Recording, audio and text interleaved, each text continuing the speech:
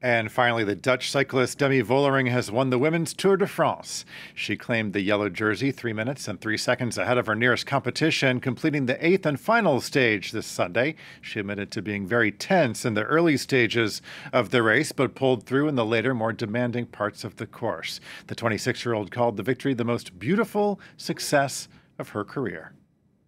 It's really cool that's now already going out of outside of France, and uh, it's it's I think a privilege for for Holland that that Holland is the first uh, to to have the Tour de France Femmes in in in Holland. I grew up uh, close to Rotterdam, so uh, yeah, that's that's uh, of course something amazing that it's so close to my hometown, and uh, yeah, it's.